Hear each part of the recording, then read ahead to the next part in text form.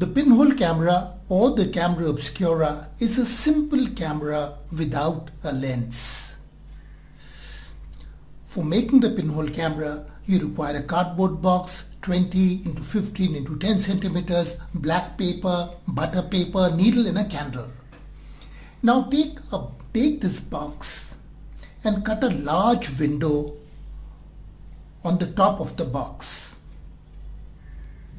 with the help of a cutter and then stick butter paper as a screen on this window.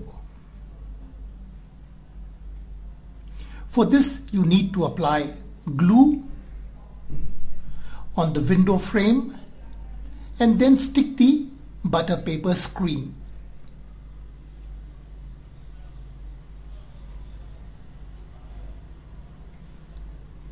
Well then cover the rest of the box with black paper. Why black paper? Because we want this box to be totally light proof. So all the joints, all the crevices should be covered with black paper so no light can enter. Then mark the center carefully and make a small hole with a needle. Stand the box vertically and place a lighted candle away from the aperture.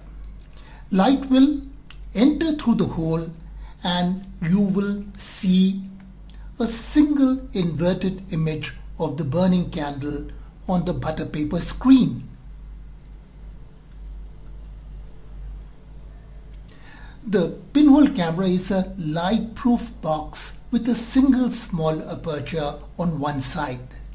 Light passes through the small hole and projects an inverted image on the opposite side of the box. If you make four holes, then you will see four inverted images of the burning candle. You can become more adventurous and instead of five holes, you can also make nine holes.